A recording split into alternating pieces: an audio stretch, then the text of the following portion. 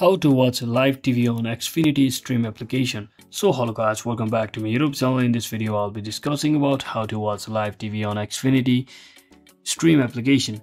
So if it's available on your region, you can easily download it from the App Store or Play Store as well. So in my case, it's not available in my region, so I'll simply show you as an example from the browser. So you can also actually head over to any web browser and simply search in for Xfinity Live TV and make sure you have a subscription of that whether via your internet or TV services. So once you log in to your account, that means from there you can just after launching the Xfinity stream application, just navigate to the live TV section and locate and tap on the live TV option usually found in the main menu or bottom navigation bar and simply browse the channels explore the available channel and select the one that you want to watch.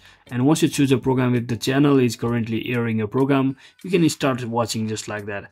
So i hope this clears your doubt guys. Thanks for watching. Don't forget to like and subscribe to the channel. See you on the next one